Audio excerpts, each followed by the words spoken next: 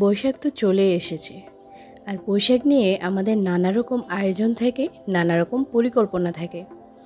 চার রকমের ভর্তা হাতে মাখা রাখতে পারেন আপনার এই পরিকল্পনার আওতায়। আসসালামু আলাইকুম এনপিপিডি কিচেন থেকে আপনাদের সবাইকে স্বাগতম।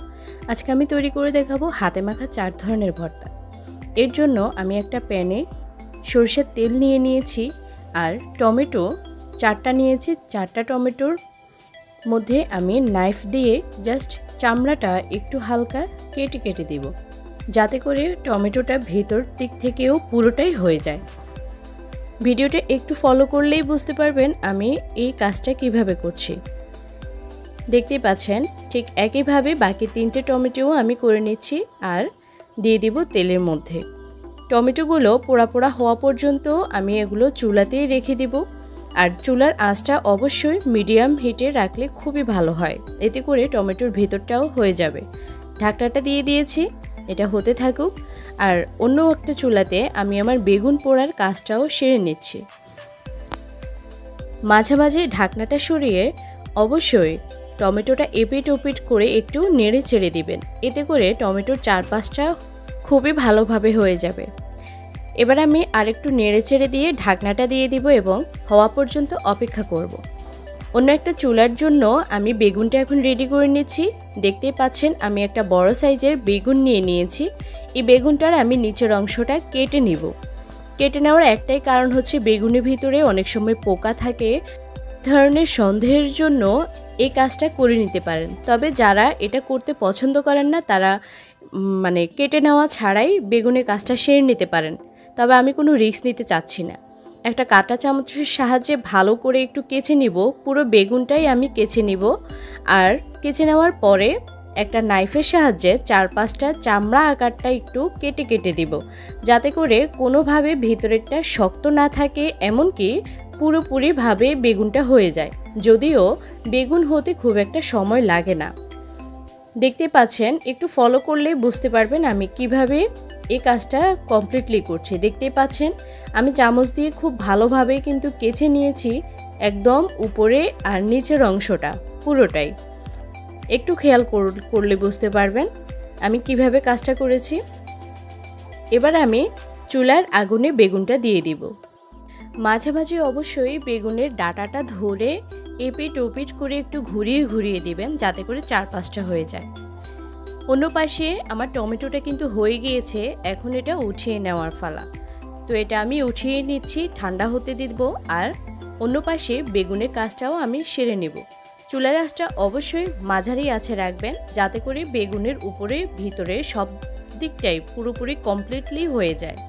দেখতেই পাচ্ছেন, আমি চুলার আঁচটা মাঝারি পর্যায়ে রেখেছি। এ ধরনের স্ট্যান্ড হলে অনেকটাই সুবিধা। চুলার মধ্যে যদি এ ধরনের কোনো স্ট্যান্ড থাকে, যদি না থাকে আপনি তাওয়াতেও বেগুনটা স্লাইড করে কেটে কেটে এই কাজটা সেরে নিতে পারবেন। তবে আগুনে পোড়ার থেকে ভালো কোনো স্মেল বেগুন ভর্তার মধ্যে আমার মনে হয় আর হয় না। তো আমি একটু ভালো করে এখন ঘুরিয়ে ঘুরিয়ে দিচ্ছি। তো আমার টমেটোটা তো আমি উঠিয়ে রেখেছি, ওই চুলাতে এখন আমি শুটকি ভাজার কাজটা সেরে নেব। আর এর জন্য আমি একটা পুরাতন প্যানে একটু সরিষার তেল নিয়ে নিয়েছি এবং চিংড়ি শুটকি আমি এখানে ব্যবহার করছি। ছোট সাইজের যে চিংড়ি শুটকিগুলো পেয়ে থাকি আমরা, ওগুলো আমি এখানে ব্যবহার করছি। শুটকিটা তেলে দেওয়ার আগে অবশ্যই ভালোভাবে একটু ধুয়ে নেবেন এবং পানি ঝরিয়ে নেবেন। আর শুটকিটা খুবই ঝুরঝুরে করে ভেজে নিব। খুব ব্রাউন একটা কালার করে ভেজে নিব যাতে করে হাত দিয়ে একদম মানে মথে নিতে পারি এই টাইপের আর কি, ঝুরঝুরা করে ভেজে নেব। তো দেখুন, এবার আমি টমেটোটা ঠান্ডা হয়ে গিয়েছে, এটা আমি এবার এখন একটু মেখে নিব। যদি এ ধরনের কোনো স্টিক থাকে, তো ভর্তার স্টিক ওটা দিয়েও আপনি কাজটা সেরে নিতে পারবেন বা আমরা যে পানি খাই, ওই গ্লাসের নিচের অংশ দিয়েও কাজটা সেরে নিতে পারবেন। এছাড়াও আপনি হাত দিয়েও কাজটা কমপ্লিট করতে পারবেন। টমেটোর উপরে যে খোসাটা ছিল, খোসাটা আমি একদম বেছে বেছে ফেলে দিব। এটা রাখব না ভর্তাটার মধ্যে আর একটু ভালোভাবে স্মুথ আকারে মুথে নিব। মথানোটাও হয়ে গিয়েছে, এবার দিয়ে দিব পেঁয়াজ কুচি। পেঁয়াজ কুচিটা দেওয়ার আগে একটু হাত দিয়ে কষলিয়ে দিবেন, এতে করে পেঁয়াজ কুচিটা খুব ভালোভাবে মিশে যাবে ভর্তার সাথে। আর দিয়ে দিব শুকনো মরিচ। আমার এই শুকনো মরিচগুলোতে কিন্তু ঝালের পরিমাণটা খুবই কম। তাই আমি একটু বেশি পরিমাণেই দিব। আপনারা আপনাদের টেস্ট অনুযায়ী শুকনো মরিচটা ব্যবহার করবেন। অবশ্যই শুকনো মরিচটাই ব্যবহার করবেন, না হলে কিন্তু ভর্তার অ্যাকচুয়াল টেস্টটা খুঁজে পাবেন না। বৈশাখ তো চলে এসেছে।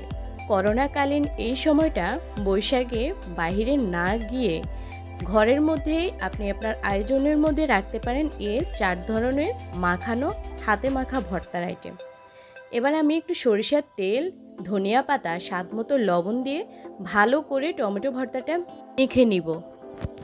হয়ে গিয়েছে আমার টমেটো ভর্তাটা। এবার আমি শুটকির ভর্তাটা করে দেখাচ্ছি। এখানে দেখতেই পাচ্ছেন, আমি একদম ঝুরঝুরে করে চিংড়ি শুটকিটা ভেজে নিয়েছি আর হাত দিয়ে ভালো করে একটু কষলিয়ে নিয়েছি, যাতে করে এটা অর্ধেক ভাঙা হয়ে যায়। আর এখানে আমি কয়েকটা বড় রসুনের কোষ নিয়ে নিয়েছি। এই রসুনটা আমি আগুনে পুড়ে নিয়েছি, আপনারা চাইলে টেলেও নিতে পারেন। রসুন কিন্তু টেলে নিলে বা পুড়ে নিলে রসুনের কোষটা খুবই নরম হয়ে যায়। আর দিয়ে দিচ্ছি শুকনো মরিচ। এই চিংড়ি মাছের এই শুটকির ভর্তাটা খুবই অসাধারণ একটা। হাতে মাখা এই ভর্তাটা ভাতের সাথে খেতে কিন্তু খুবই দারুণ লাগে। অবশ্যই ট্রাই করবেন। একটু পেঁয়াজ কুচি দিয়ে দিচ্ছি, স্বাদ মতো লবণ দিচ্ছি, আর দিয়ে দিব ধনিয়া পাতা এবং দিয়ে দিব সরিষার তেল দু টেবিল চামচ পরিমাণ। আমার চার ধরনের হাতে মাখা ভর্তাতেই কিন্তু আমি খাঁটি সরিষার তেল ব্যবহার করেছি। অবশ্যই সরিষার তেলটা ব্যবহার করবেন, এতে করে ভর্তার টেস্টটা আপনি খুঁজে পাবেন। এবার আমি আমার বেগুন ভর্তাটা কমপ্লিট করে নিয়েছি বেগুনের উপরে যে পোড়া পোড়া চামড়াটা আছে, অবশ্যই এটা মনে করে হলেও এটা আপনি অবশ্যই ফেলে দিবেন। এতে করে না হলে বেগুনের কিন্তু আপনার খাওয়ার সময় খুব একটা ভালো লাগবে না, দাঁতের মধ্যে এই চামড়াটা পড়লে। এবার আমি বেগুনটা পুরোটাই ছাড়িয়ে নিয়েছি, দেখতে পাচ্ছেন আমার বেগুনটা কিন্তু খুবই নরম হয়েছে, ভিতর দিক থেকে খুবই নরম হয়েছে। তো সম্পূর্ণটা আমি এখন ছাড়িয়ে নিচ্ছি। যারা ভিডিওতে এখনও লাইক করেননি, তারা একটা লাইক দিয়ে দিবেন আমার ভিউয়ার্সরা আর দেখতেই পাচ্ছেন আমি দুটো রসুন কোষ দিয়ে দিচ্ছি। এটাও একটু ভালোভাবে মাখিয়ে নিব। স্বাদ মতো লবণ দিয়ে দিব। এবার দিয়ে দিব কয়েকটা শুকনো মরিচ। শুকনো মরিচের ঝালটা কিন্তু অবশ্যই আপনারা টেস্ট অনুযায়ী ব্যবহার করবেন। খুব ভালো করে আমি কুচলিয়ে দিচ্ছি। যারা হাতে করতে সমস্যা বোধ করবেন যে হয়তো জ্বালা পোড়া করতে পারে, তারা একটা ভর্তার স্টিকের সাহায্যে করতে পারবেন বা গ্লাসের নিচের অংশ দিয়েও করে নিতে পারবেন কাজটা। একটু ধনিয়া পাতা আর পেঁয়াজ কুচি দিয়ে সরিষার তেল দিয়ে আমি ভালোভাবে একটু মেখে নেব। আমার ভিউয়ার্সরা যারা এখনও আমার চ্যানেলটি সাবস্ক্রাইব করেননি, তারা সাবস্ক্রাইব করে পাশে থাকা বেল আইকনটি অবশ্যই ক্লিক করে দেবেন, যাতে করে নতুন ভিডিওগুলো পেতে আপনাদের সুবিধা হয়। আমার এই ভর্তাটাও মাখা হয়ে গিয়েছে, এবার আমি শেষের ভর্তাটা আপনাদের দেখিয়ে দিচ্ছি।